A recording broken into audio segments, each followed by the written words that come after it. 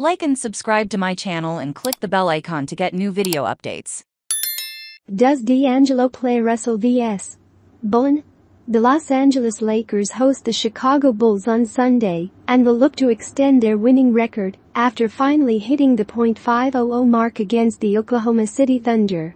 Among those absent from the Thunder win was point guard D'Angelo Russell, who was out with a sore right hip watch NBA games live with fubo according to the official NBA injury report, Russell has been ruled a game threat as he continues to struggle with pain in his right hip. The point guard was then left out of the pre-game lineup, but there was good news in the form of LeBron James, return to the lineup. The King will come off the bench on Sunday against the Bulls, who are also fighting for postseason spot Dennis Schroeder represented Russell against the Thunder and had a good game with 21 points, 3 rebounds and 6 assists as of today. The Lakers have won 3 straight and K could move up to 7th with the win over Chicago, something that seemed unfathomable given their 2-10 start to the regular season.